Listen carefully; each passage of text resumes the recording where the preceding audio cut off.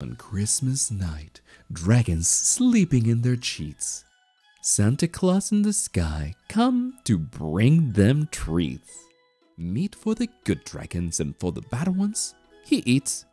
Santa doesn't bring meat! You've never received meat in your stocking?